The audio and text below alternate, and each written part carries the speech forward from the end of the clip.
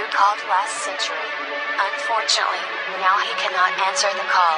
Leave your message. And have a nice trip.